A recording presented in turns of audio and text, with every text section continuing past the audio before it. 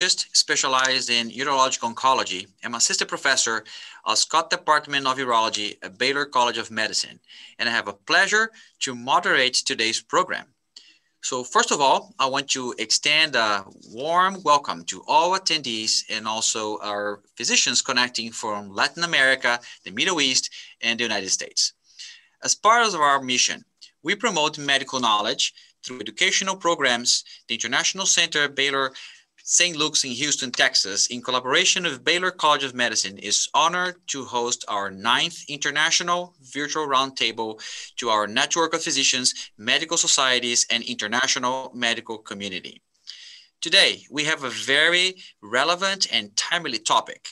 It's managing high-risk non-muscle invasive bladder cancer in the BCG shortage era. The objectives of tonight's activity are to understand treatment options with no or limited supply of BCG, and to describe the role of radical cystectomy for patients with high and very high risk disease. Very well. So our program today will start first with uh, a lecture presentation by our speaker, Dr. Seth Lerner. Through his presentation, please feel free to submit questions via the chat box located at the bottom right of your screen. And please feel free to submit questions either in English or Spanish. Hablamos español. After the presentation, we will open the virtual roundtable with questions. And then we will uh, uh, take comments and considerations from our panelists, our speaker, and also we're going to open discussion to the audience. Before introducing our speaker for this afternoon, I would like to welcome our Latin American panelist who will join us after the presentation with his opinion and comments. Let's please welcome Dr. Dagoberto Molina Polo from Mexico. Dr. Dagoberto Molina Polo is a graduate of the Mexican School of Medicine of La Salle University. He completed his medical residency in general surgery at the Hospital General of Mexico to later perform a subspecialty in urology at the National Medical Center November 20th. He's certified in robotic surgery by Memorial Hermann Surgical Innovations and Robotic Institute in the city of Houston, Texas. His research work is focused on the management and treatment of urological cancer, and among these, carcinoma of the prostate, bladder, testicle, and kidney. The areas of comprehensive urological care that he handles include oncological urology, endourologic surgery, laparoscopic surgery, urolithiasis, erectile dysfunction, male infertility, female urology, and reconstructive urological surgery. He has published numerous articles in international recognized journals within the specialty and is author of the book 20 Responses to Prostate Cancer. His professional practice is located at the ABC Medical Center Observatory Campus in Mexico City. Welcome very much, Dr. Molina. Thank you for joining us this afternoon. We'll be connecting with you right after the lecture to obtain your observations and points of view. Now, it is my privilege to introduce my mentor, my colleague, and our special speaker for tonight, Dr. Seth Lerner. Dr. Seth Lerner is professor of urology, and he holds the Beth and Dave Swalm Chair in Urological Oncology and the Scott Department of Urology, Baylor College of Medicine. He is the director of Urological Oncology and the Multidisciplinary Baylor Cancer Program and the Faculty Group Practice Medical Director for the Urology Clinic. Dr. Lerner earned his medical degree from Baylor College of Medicine. He completed a surgical internship at Virginia Mason Hospital in Seattle and returned to Baylor for his residency training. He completed a two-year fellowship at University of South California in urologic oncology and reconstructive surgery under Peter Jones and Don Skinner before returning to join full-time Baylor faculty in 1992. His clinical practice, education, and research activities are devoted to urologic oncology and particularly lower and upper tract urothelial cancer.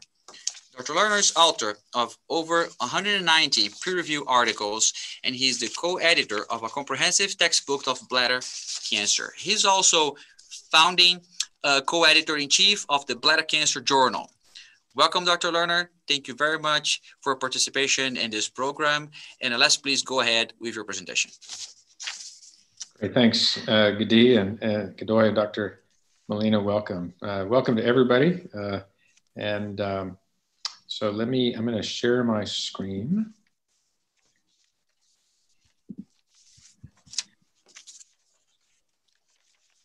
So hopefully everybody can see this. Alex will tell me if there's a problem. And let me do that. Okay, so welcome everybody from uh, Baylor St. Luke's uh, Medical Center, our home in the Texas Medical Center. Baylor and St. Luke's have this great uh, joint venture and partnership uh, in conjunction with the Dan L. Duncan Comprehensive Cancer Center.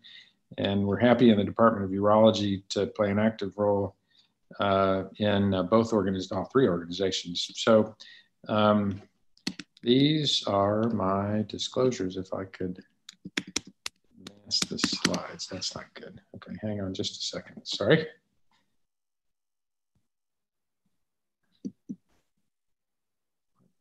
Deal here. Ah, okay. Um, let me go back to sharing. We test drove this beforehand and it worked great. Okay, anyway, so uh, my topic is uh, managing uh, high risk, high grade non muscle invasive bladder cancer during the BCG shortage. I think everybody is aware that there, there, really is a global shortage of BCG. I'll explain sort of why that's uh, happened and, um, and some of the challenges and opportunities that we have uh, during uh, management. So these are my uh, disclosures. Um, I will be referring to a clinical trial in the Southwest Oncology Group that's supported by JBL, which makes the Tokyo uh, strain of BCG. Um, and uh, we'll talk a little bit about uh, checkpoint inhibitors, just very briefly mentioning clinical trials. Uh, and so we have both a clinical trial relationship with Genentech, and I do some consulting. But I'll point out along the way any other potential uh, conflicts, financial conflicts of interest. So this is what I'm going to cover in about the next 20, 25 minutes. I'll be efficient. Um, and let's, why don't we just get right into it. Um, so, uh, what happened? Uh, so, um, at least in North America, uh, there were two strains of BCG, TICE, which we currently have available through uh, Merck, and uh, the Connaught strain, which was produced by Sanofi Pasteur in Canada. They went offline in 2012 and then closed permanently in 2017. So, we had a major supplier offline now for eight years. Merck stepped up uh, but has had um, intermittent issues uh, with their production, though none in the recent uh, past. And they manufacture in a single plant in the US and distribute to over uh, 70 countries. Uh, the US market was 28% of the total product. They have increased their production by more than 100%. And, but despite that, um, demand has clearly outstripped supply, and they began an allocation distribution uh, back in January 2019. Um, the, uh, a number of stakeholders that I've listed here in the bottom uh, got together and developed a joint statement. The uh, first came out in February of uh, last year and then updated just recently. And I think that this actually, the next two slides are probably some of the most important messages I can convey. So, uh, and we'll talk about all of these, but low risk disease BCG should never be used. Those patients basically get perioperative chemotherapy and follow up. Intravesical chemotherapy should be the first line option for patients with intermediate risk uh, disease. Um, and then uh, BCG should be uh, uh, reserved for patients with high risk disease and particularly those who are BCG naive to try to get full strength in. And if uh, supply issues restrict that, then you can dose reduce, though that's not ideal for patients with um, who are BCG naive. Um, uh, we'll talk a little bit about maintenance therapy, um, and uh, maintenance should only be used as long as we can prioritize induction for BCG naive patients, and again, just high risk, which is high grade disease by definition. Um, there are a bunch of alternative chemotherapy regimens, and I'll discuss some of that as we go along in the talk. And of course, radical cystectomy continues to be perhaps a treatment of choice for the highest risk patients, but uh, in other times of BCG shortage, there's data to show that cystectomy has increased in use for patients who otherwise might be able to be treated with intravesical uh, therapy.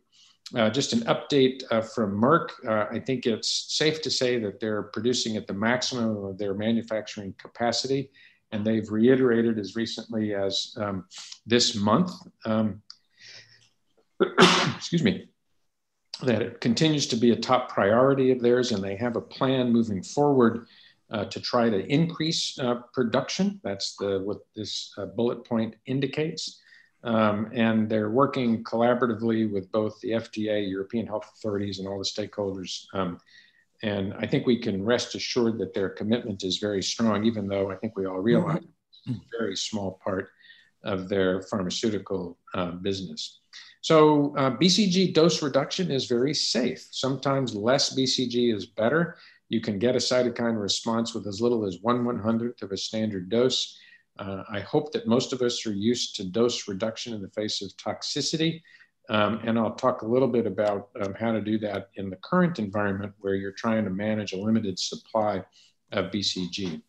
At least in uh, the United States, uh, the AUA has a, a, split dosing policy. There's what we refer to as a J code that allows one to bill for the uh, portions of a BCG vial. The problem has been that the carriers, the insurance carriers, haven't quite figured out a way to um, allow us to charge patients and get reimbursed for split uh, vials, although some practices have figured out a way to do that. Um, the FDA has continued to work with Merck quite closely.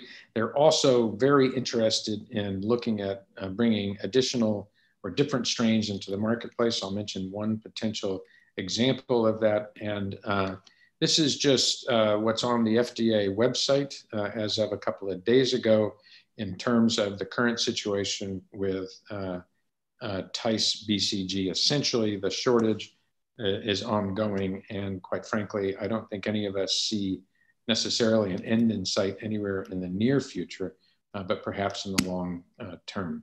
So it's worthwhile to just um, talk briefly about risk stratification. I like using the European Association of Urology uh, guidelines because it's quite easy to remember. A low risk patient has a solitary small TA low grade tumor, generally first occurrence. They don't need anything else done uh, except uh, perioperative chemotherapy. High risk patients or any patients with high grade disease, and intermediate is everything in the middle, which essentially is multifocal recurrent TA low grade.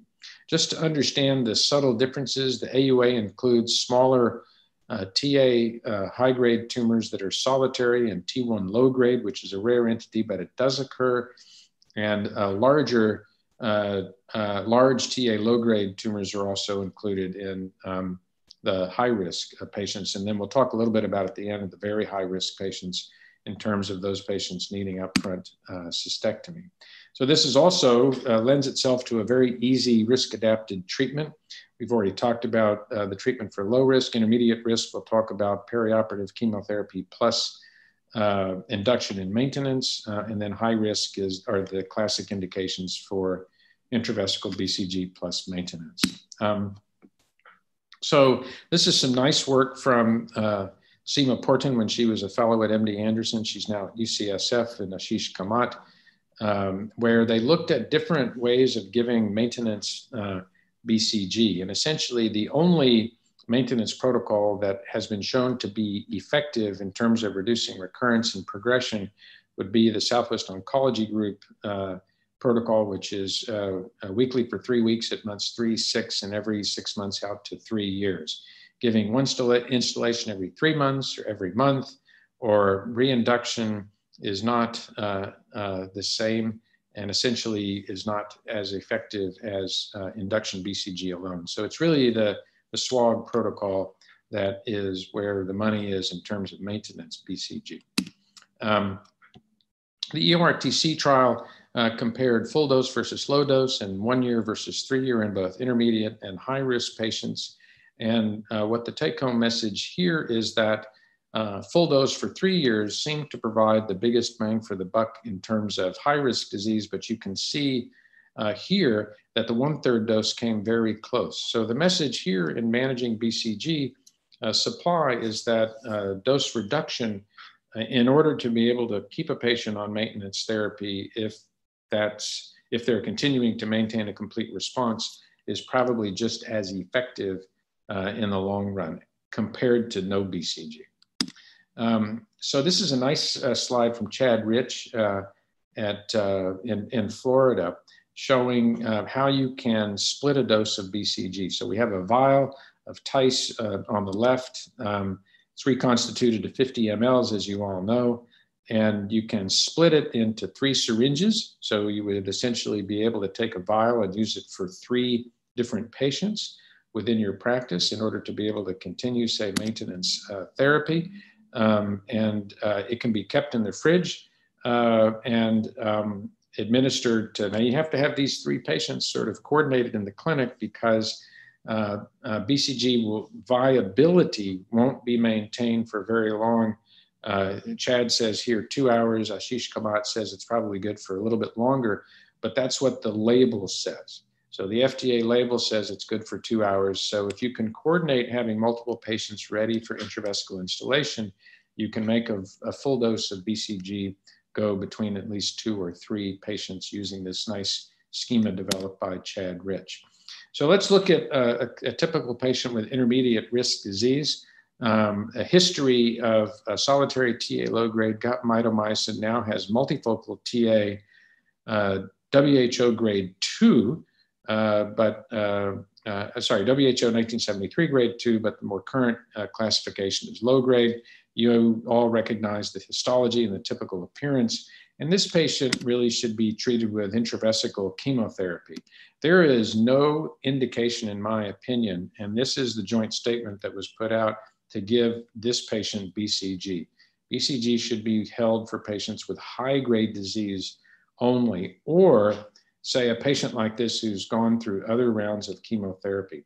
Our preference is to use an optimized reg regimen of mitomycin C, which was um, the result of a phase three trial published, as you can see now, almost 20 years ago. In my opinion, it's been the standard of care since then. So the idea is you double the dose and double the concentration of mitomycin, so 40 and 20. If you make the patient NPO after midnight, they're not going to produce as much urine during the two hour dwell time and therefore not dilute the mitomycin. Mitomycin is taken up along a concentration gradient. If you alkalinize the urine, um, the mitomycin is taken up uh, better in an alkaline environment. And then we scan the bladder to make sure that the residual urine is minimal uh, prior to giving the mitomycin. Again, the same reason to not dilute the drug. And what you can see is there's a near doubling of the uh, recurrence-free survival rate at five years with the optimized regimen versus the conventional way of giving it, which at that time was 20 milligrams and 20 cc's. So here's the reference for you down on the bottom right. Uh, and this is the way we give mitomycin, been doing it this way since the we were very active in terms of accruing to the clinical trial. So it's a very good drug for this kind of patient. Our guidelines um, still, of course, um, offer BCG or chemotherapy with maintenance as an option. I think most of us are using monthly maintenance once if we achieve a uh, complete response with intravesical uh, chemotherapy. Uh, the guidelines per se have not really been adapted to the BCG shortage. I think this joint statement is really designed to account for that. Um, now, uh, let's move on to high risk disease. So this would be a patient who has is BCG naive, uh, 64 years old, three centimeter tumor. If you look on the bottom uh, uh panel, you see that here, no evidence of hydronephrosis, completely resected, T1 high grade, muscularis propria not involved re-resection just showed CIS. So I know that every single person on this call would get the answer to this right, which would be intravesical BCG. So this is who we want to reserve our BCG for. So she has a high risk disease, T1 high grade, residual CIS, classic indication for BCG. This is who we want to give it to. But if we don't have any BCG, then we can do intravesical chemotherapy. Options would be what I just described, optimized mitomycin C, but I'll come back to this at the end to talk about the current doublet that we're using of gemcitabine docetaxel. And quite frankly, we've had to use this in patients uh, when we've had a BCG shortage, which we fortunately don't have right now in our office. But more importantly, as you know, there's contraindications to BCG, and it's a nice regimen to use for those patients as well. Um, this is the classic indication for BCG.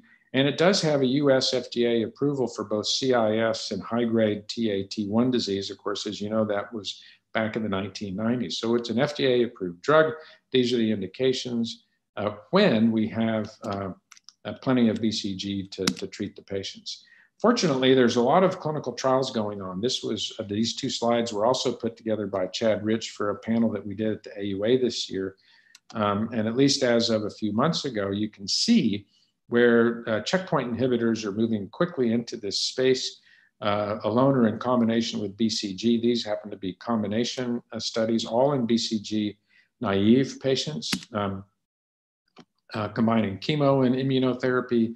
Uh, ALT-803 is a synthetic IL-15 uh, analog, which has shown a lot of promise from Altor Bioscience. And I'm going to talk briefly about the SWOG 1602 um, trial as one that we think may have a potential to get a new strain of BCG into the market. So this is the only slide I'm going to show for that. This is SWOG S1602. The principal investigator is Robert Svatek from UT San Antonio. And Rob and I and many others worked on this for a couple of years, initially with Connaught, uh, but when it was very clear that they were going to stay offline, we turned to uh, the TICE BCG as the control arm. So patients come in who have high risk disease, high grade, um, otherwise eligible for BCG, um, and uh, they get randomized one to one to one to either intravesical BCG or the Tokyo strain, which you may recall is the old Japanese strain, been around and recognized since the 1920s, and actually has very similar activity to Connaught, at least we think so in some comparative studies. And in the two arms that get Tokyo, one of the arms gets primed with intradermal BCG. So the idea is by priming the immune system three weeks before intravesical therapy, um, that boosts the immune system and, and, and gets a more rapid cytokine response. And the primary outcome measure is um, uh, recurrence-free survival at 12 months. So this is a huge study, 959 patients. And we're actually going to be finished accruing probably by very early in uh, 2021.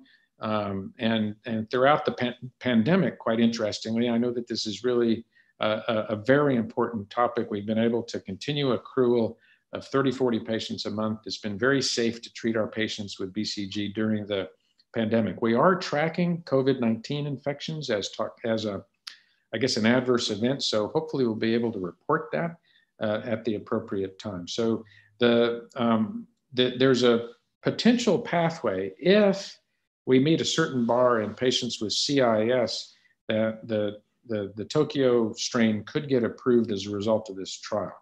Um, but, uh, and we're currently working with the FDA on, um, uh, on that process, but that's not anywhere in the near future, just something that, that is a possibility.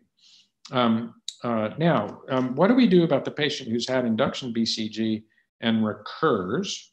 Um, I, you know, without having had maintenance treatment. So we understand that a lot of patients are going to get induction only, and this was a nice clinical trial that compared gemcitabine versus another round of BCG after BCG failure and showed that gemcitabine was superior in terms of recurrence um, uh, free survival. You can see a very high recurrence rate, unfortunately, but this did show that gemcitabine actually might be a more effective drug as monotherapy in, in this uh, uh setting. So that's an option. Um, and I mentioned up front the combination of gemcitabine docetaxel. So this was first reported by uh, Mike O'Donnell's group. Uh, Mike's been a champion of doublet chemotherapy. Um, and uh, most of these patients were pre-treated, heavily pre-treated, high-risk disease. And you can see in their small uh, cohort, about half the patients maintained a disease-free state at 12 months and about a third out to 24 and 36 months. Um, and then um, um this, the, the group at Hopkins had a, a similar size a series with similar results. And now, just reported in the Journal of Urology just a couple of months ago, uh, several groups got together. We were not part of this. I think MD Anderson was. Uh, a, a, group of about 250 patients um, looking at one and two year recurrence free survival rates with this uh, doublet. Uh, it was a mix of patients, and I believe they all got maintenance. And so you can see here in both uh, CIS and high-grade papillary disease, um, the, the recurrence-free survival uh, looks pretty darn good for a high-risk group of patients. So this is actually the current doublet that we're using when we don't have BCG, and we're also using it in the BCG unresponsive patient population who we feel can get another go at intravesical therapy off trial without a clinical, you know, if we don't have a clinical trial, rather than going straight to radical cystectomy. So that brings me to the final topic of radical cystectomy. So this is a, a man in his 50s, had a CT scan with a large tumor, um, cigarette smoking history. And I think we all recognize that T1 high grade with the micropapillary variant, which is a uh, an aggressive variant of high grade cancer, no lymphovascular invasion, and then re-resection also showing T1 high grade. So that's a big red flag for, for getting on with radical cystectomy, particularly in an otherwise young, healthy uh, patient. So the question comes up, so we recommended radical cystectomy. What's the proper extent of the node dissection? I'm not going to get into that right now. But fortunately, you can see that he had only residual non-muscle invasive disease and I would uh, say that uh, the cure rate uh, should be very high in a patient like this. So I suspect that most of us would have made the same recommendation, but this is not a patient uh, that you would want to give BCG to, and particularly in an era of a BCG shortage. So we should not hesitate to um, intervene early with radical cystectomy when you have any of these high risk features. Um, large volume multifocal disease associated with CIS, re-resection showing persistent T1 high grade, and then certainly if there's confirmed evidence of lymphovascular invasion, you can see on the right a nice study by Derya Tilki.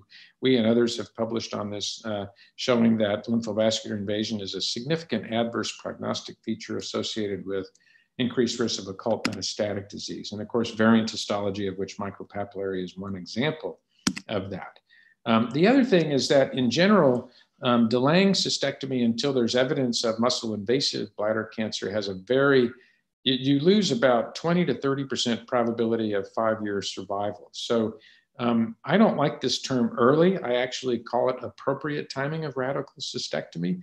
And I think that many of us are considering this much earlier in the course of the disease, in part maybe based upon our experience in the BCG shortage, but also recognizing that if the, the you can perform the operation safely, especially with continent diversion in younger healthy patients.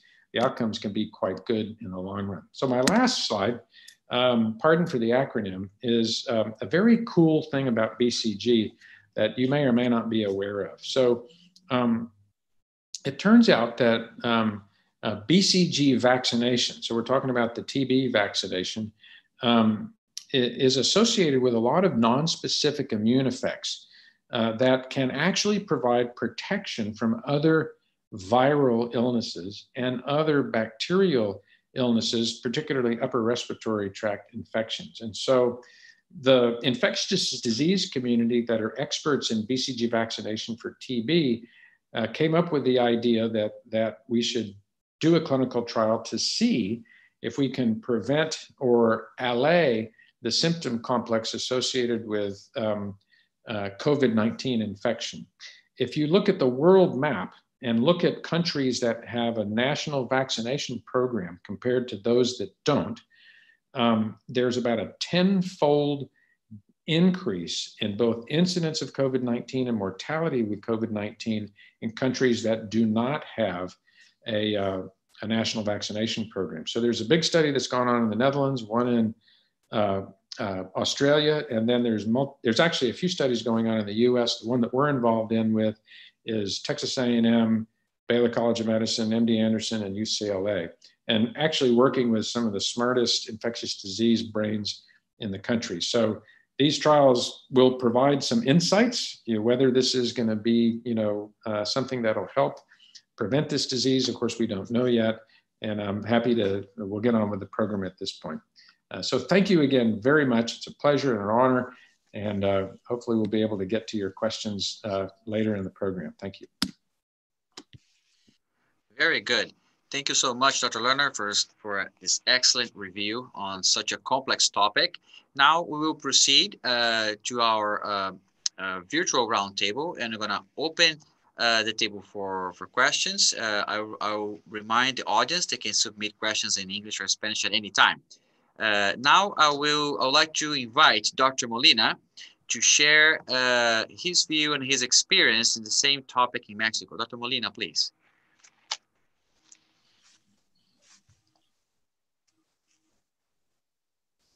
Just a moment. I think you are muted, Dr. Molina.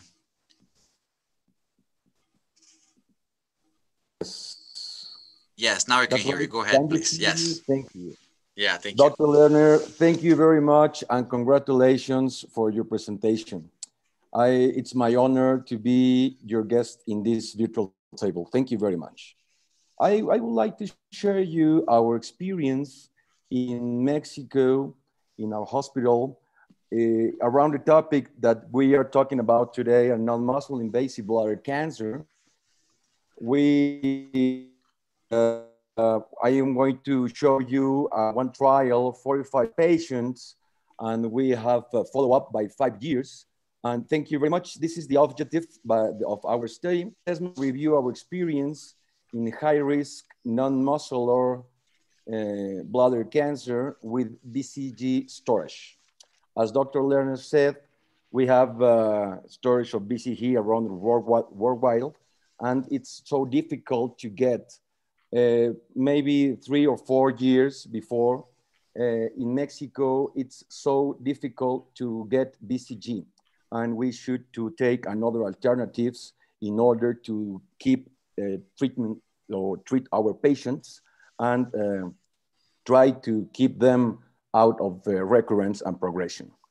That, uh, as you can see here, the behavior of non-muscle invasive bladder cancer is usually uh, kind by too many people, but when, when it's uh, of uh, high risk, we have too many problems and we have too many recurrence and progression and we need to take actions to resolve it.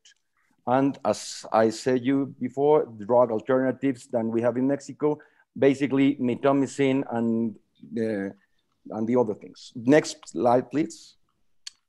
As you can see here, we have uh, 45 patients. We follow by five years with cystoscopy, urine, urine cytology, and biopsies.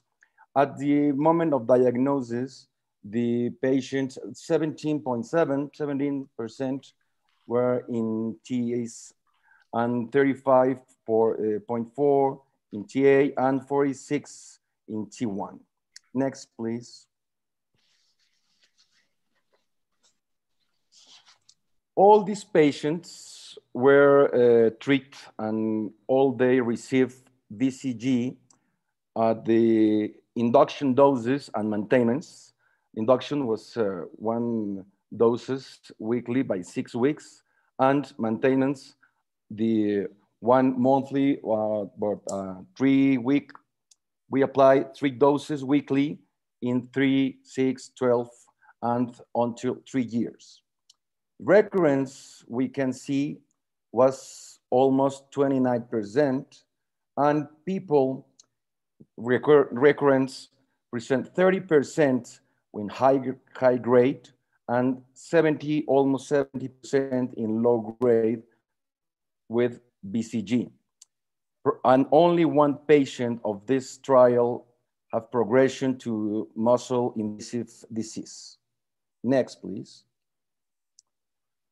The current challenge, as uh, Dr. Lerner explained to us before, uh, we don't have BCG available, maybe in too many countries, and we need to use the available BCG in low doses because lower doses have shown good responses.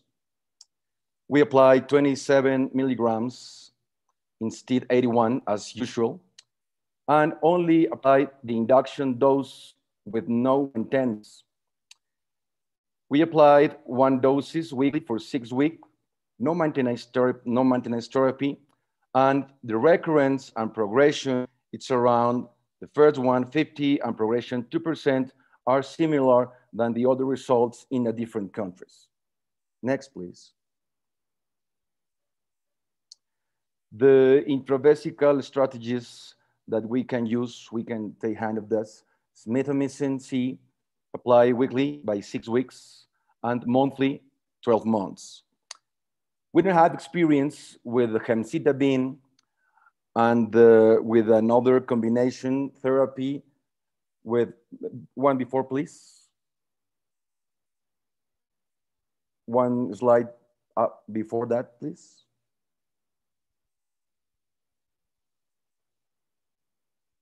Alex, can you load the presentation?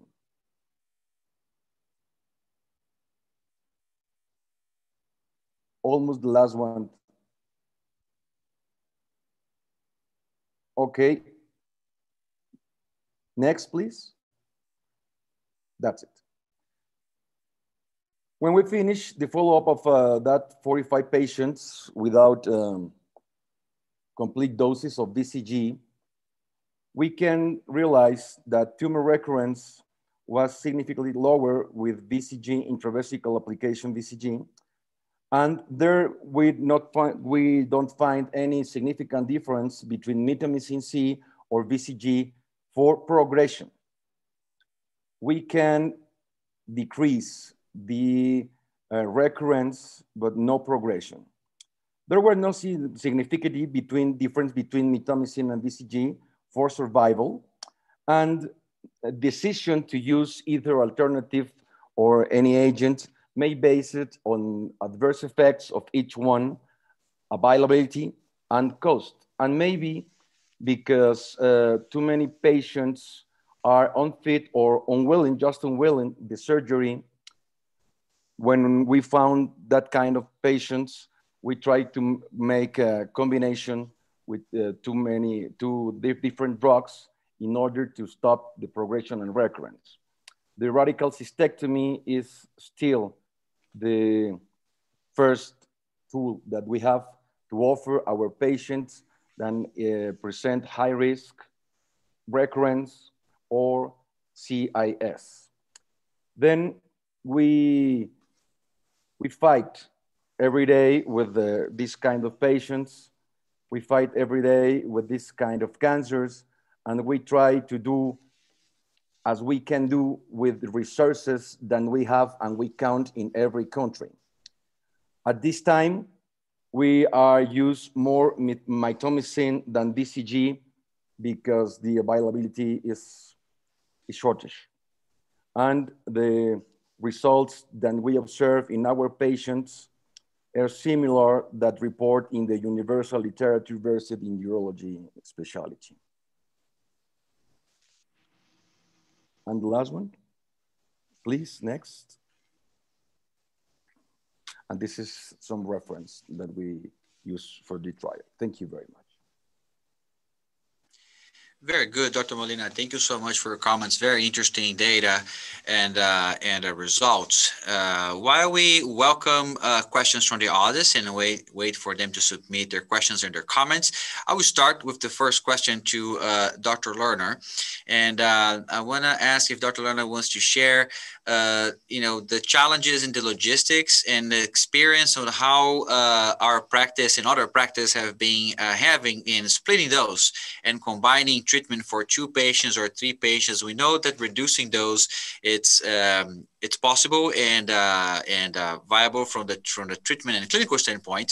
But uh, how does that work in the real real practice, Dr. Lerner? Um, so, so there's two two answers to that, two part answer. Uh, the first is dose reduction to manage uh, toxicity. Um, so I I believe, and I think the data supports that um, continuing uh, maintenance therapy using the SWOG protocol, as I described, is important to maintain uh, the, a complete response long term.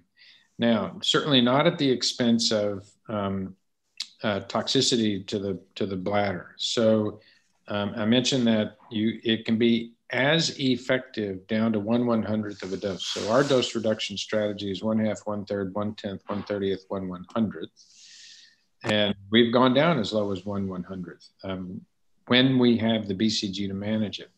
I, I may not have made it clear enough during the the formal presentation that.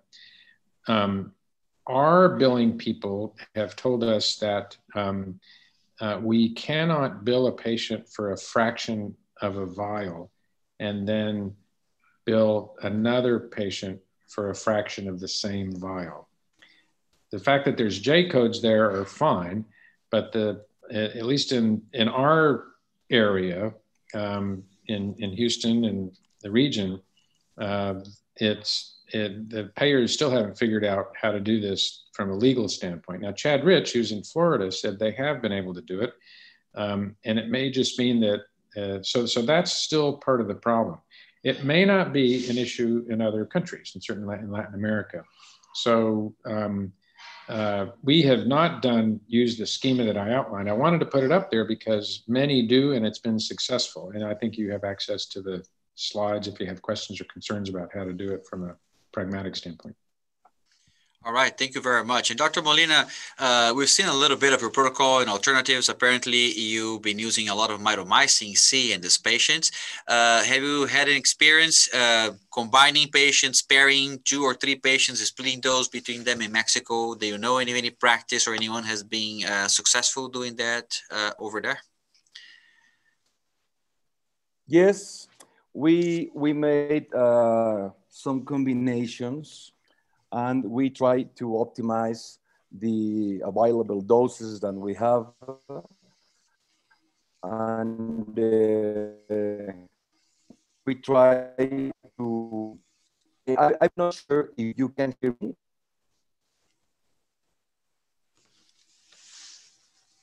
Yeah, audio seems to Dr. be breaking Lloyd, up. Dr. Seems to be breaking up a little okay. bit, Dr. Molina. Yeah, now I think you're back. I lost my audio. Yeah.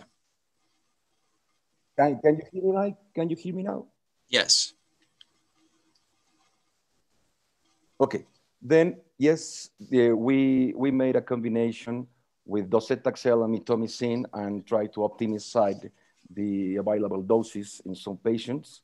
And we have results, good results with low doses and combined, and combined doses too we observed that the recurrence is lower and progression is lower, is uh, better lower, with good results. And patients have a good life quality and we follow up uh, nearly because so many patients feel that he that they are out of illness and never back to the hospital. Then we should make an effort to keep in touch with them and bring the hospital. At more in this time by the COVID, people are afraid to come hospitals. Then it's a difficult, it's a difficult uh, issue for us because we need to keep in touch with them by telephone or email and try to convince the patient to come the hospital for the follow-up. Then I answered the, the question, uh, particular doctor, the only combination that we have and we have experience here is mitomycin and, and docetaxel. Okay. Okay. Very good. Very interesting. Thank you for your your comments. Uh, those are being very challenging times for everyone. Uh, we have a, a, question coming from Honduras. Uh, the question is: uh, the COVID decrease has COVID decreased even more the supply of BCG? I think it has to do with that clinical trial that uh, Dr. Lerner presented at the end, and uh, it's interesting. It's a very, it's a very curious question, and I think a very interesting finding that uh, might have an association there. And this clinical trial is trying to address that question. But every time I mention this trial to someone, they say, "Well, how is that going to play out with the shortage?" Dr. Lerner, have any comments about that? Well, so, okay, so from a patient perspective, uh, there were some concerns raised that, so we have a contract with Merck uh, to supply TICE in the control arm. So you can do the math of 960 patients, that would be 320 and, you know, induction plus maintenance. But if you think about it, um, these patients would be getting BCG off trial uh, if they weren't on this clinical trial. So um, in, in the one sense, it's been a it's been a, a, a, selling point, quite frankly, from the trial because it guarantees access to BCG. Um, and uh, but I, you know, I, I don't want to believe that this arrangement that we have, or quite frankly, look, Merck's doing a BCG plus Pembro trial in BCG failure patients, that that is somehow having a negative impact on the supply for the rest of our patients or practices off trial. I, I, I can't obviously uh, I don't know that that's absolutely true, but I think that Merck has made a really good faith effort to in their allocation strategy to, to make sure that uh, uh, assure fairness in distribution of BCG. I, I, tell you what my claim is, is that if we as a community um, uh, use BCG as I've, as the joint statement recommends, you know, for the high risk patients and minimize maintenance, say out to a year, um, then that alone will have a, a, a, very significant impact on the BCG shortage. It's not going to solve it, um, but I think that there's some things that we can do to alter our practices. Now, look, if you're in a practice that can't get BCG, forget everything that I just told you.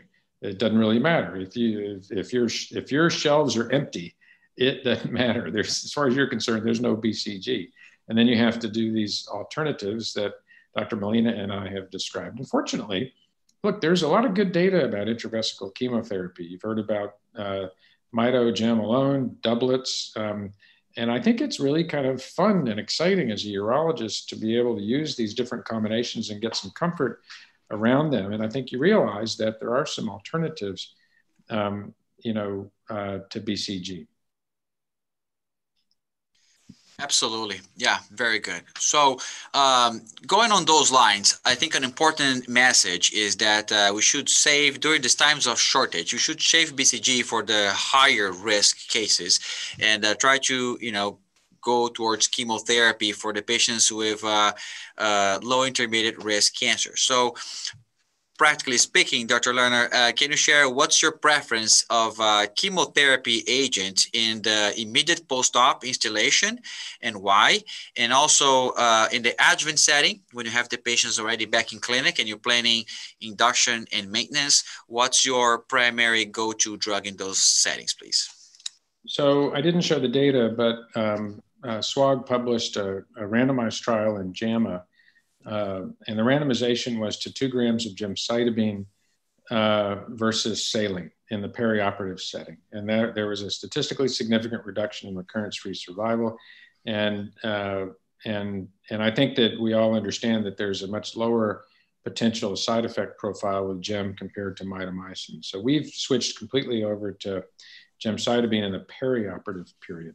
Um, in the patient that I showed you, you know, with um, typical intermediate risk, so multifocal recurrent TA low grade, uh, we've used the optimized mitomycin C regimen, as I said, since uh, our participation in the trial, and um, and have have I feel like we've had a lot of success with it.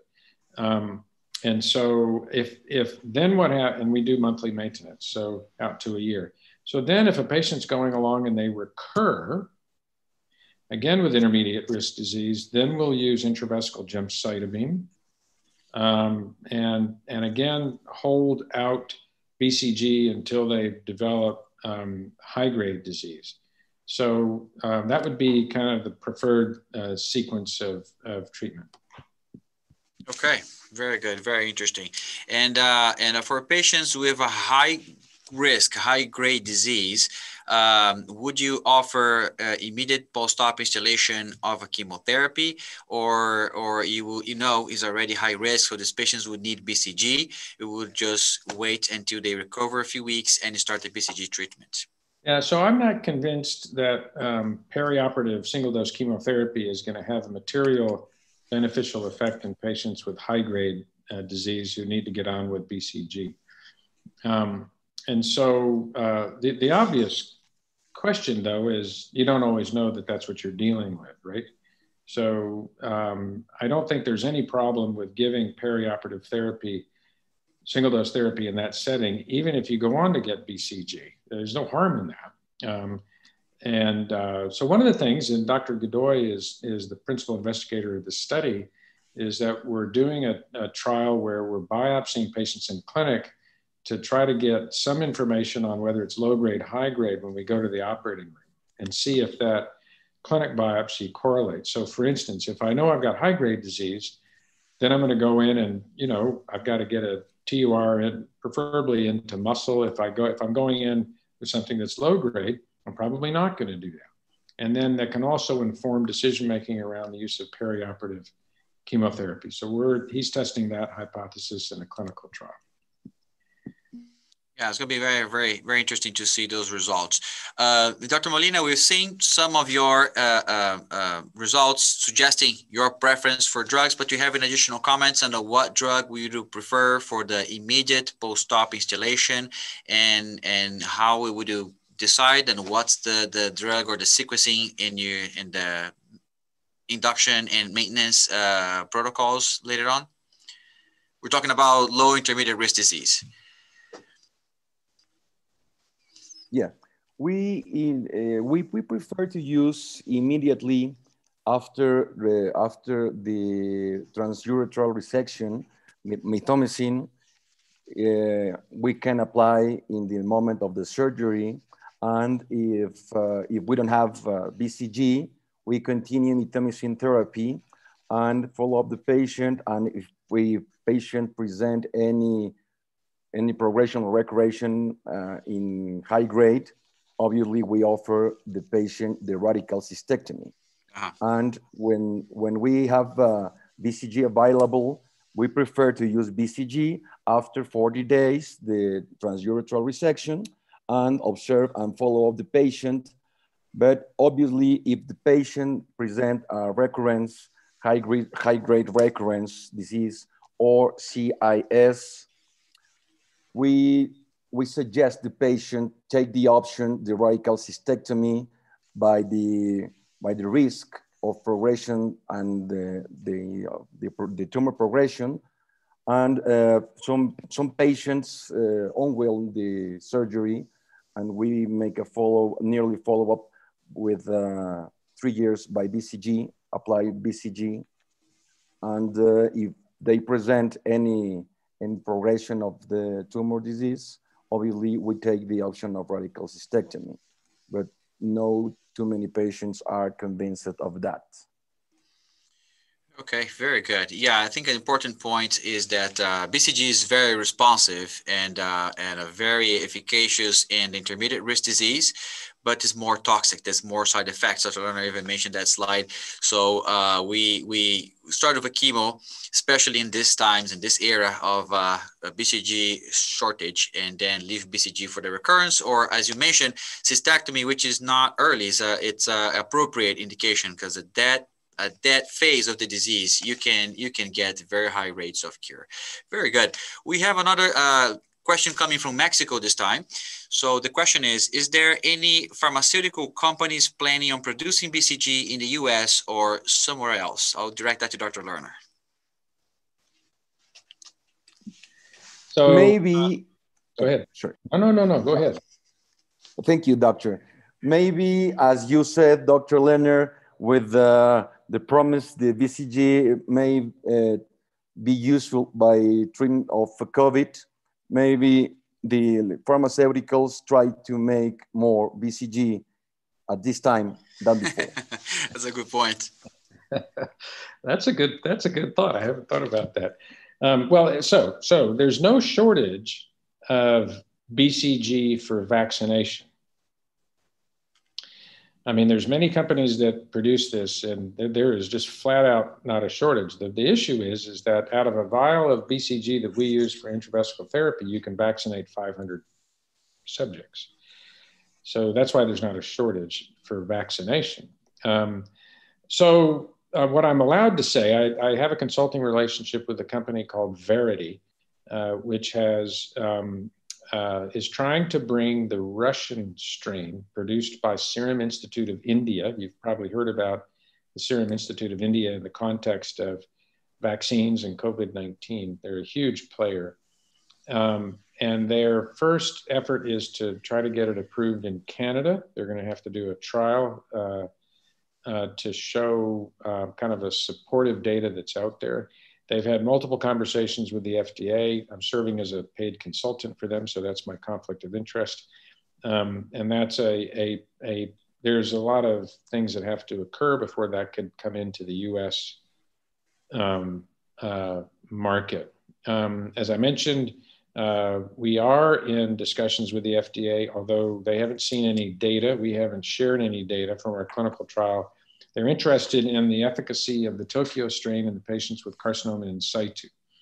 And so um, there's a potential, I have to be careful in what I say, potential registration pathway uh, if the data support that. That, that may or may not happen.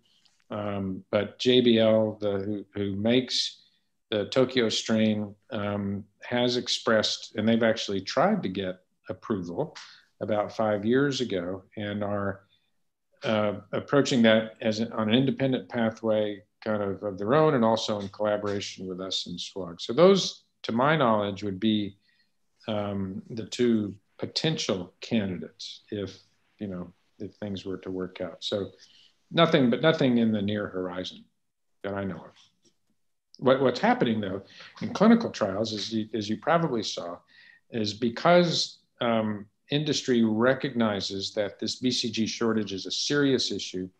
BCG production has all sorts of challenges uh, as a live uh, bacteria um, that they've moved very rapidly into this space to develop both um, uh, checkpoint inhibitors uh, alone or checkpoint inhibitors with, uh, with BCG or with other immunotherapy agents. So that's actually kind of exciting and we'll have to see how those trials uh, play out.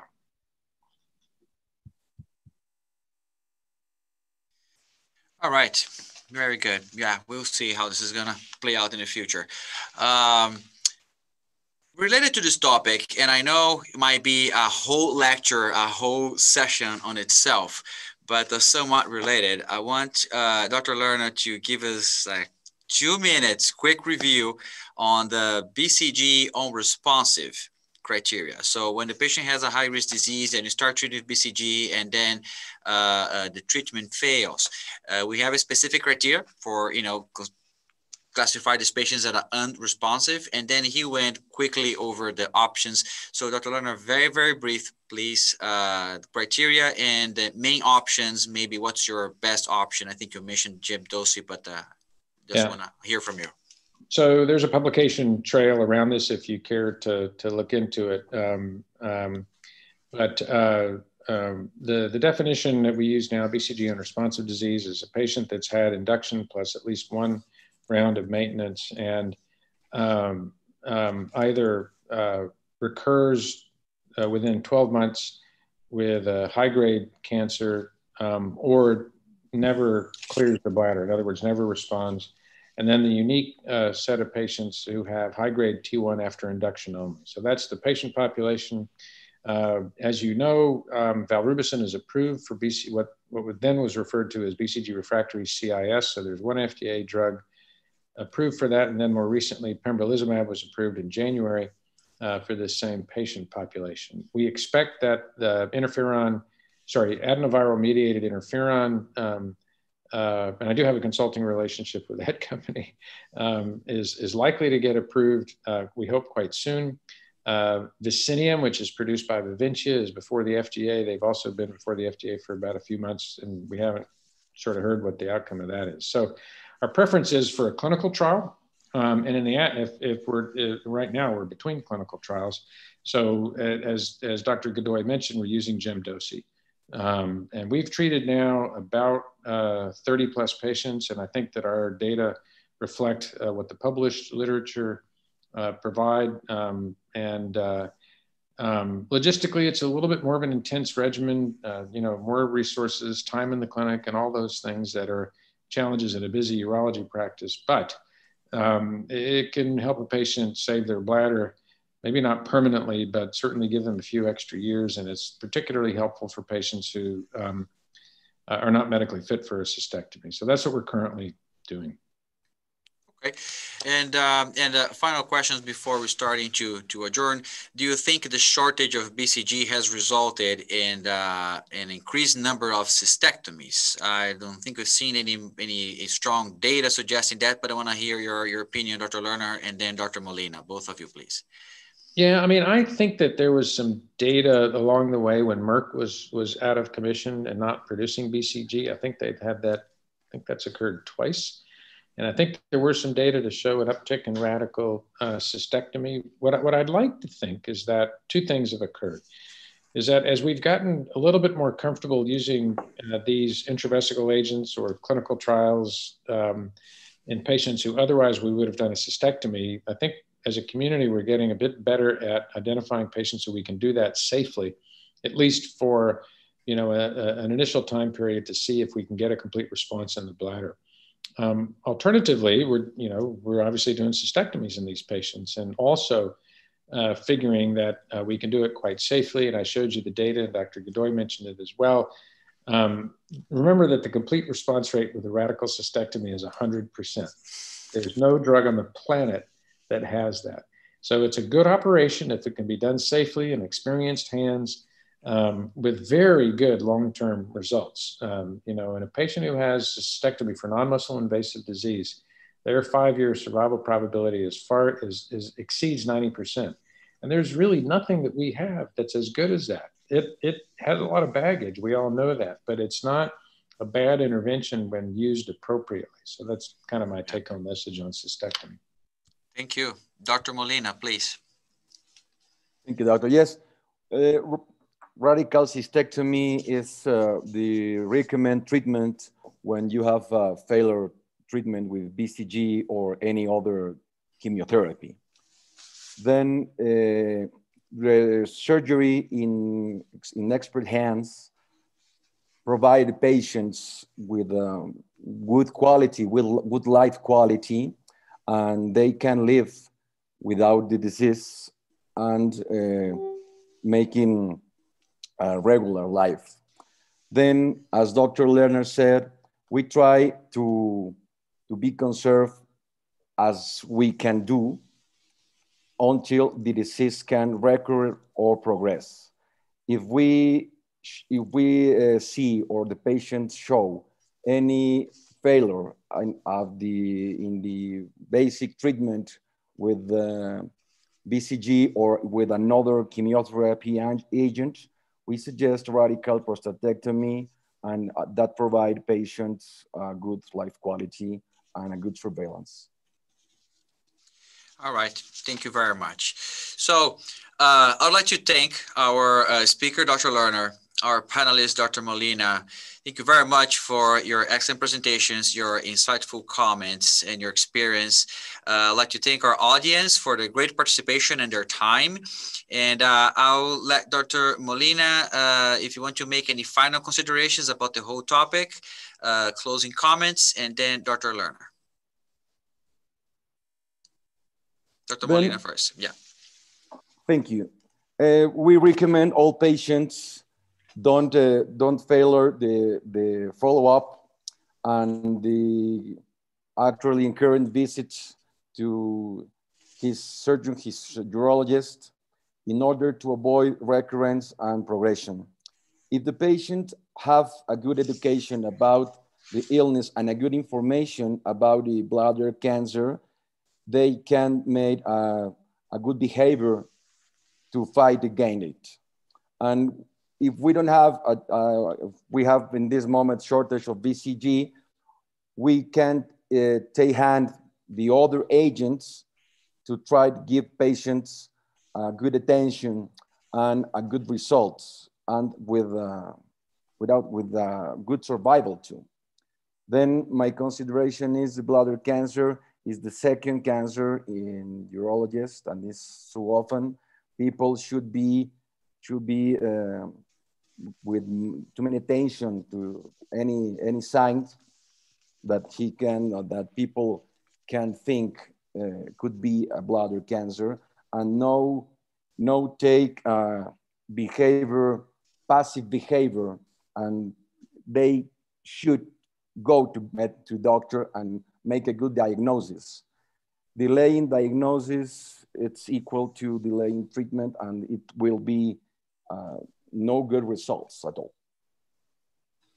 Okay, thank you. Dr. Lerner, final comments, please.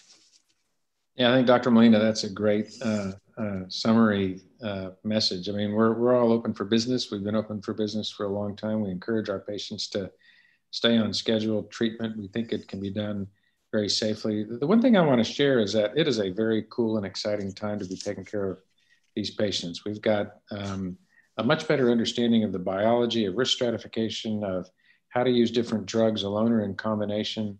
Um, I think we really have to use our, our brains, you know, to come up with uh, treatment options in, in the, this, this sort of challenging environment. So I think it's a lot of fun, it's a lot of excitement. I think we can really help most of our patients. And, um, you know, the, the whole field of radical cystectomy has gotten much more sophisticated in terms of the tools we have to make that operation uh, safe as well. And, and we shouldn't hesitate to use it uh, appropriately. Um, and so um, uh, we uh, understand that, that the challenges are different where each of us live and work. And uh, I think both Dr. Molina, Dr. Godoy, myself, the whole team are here.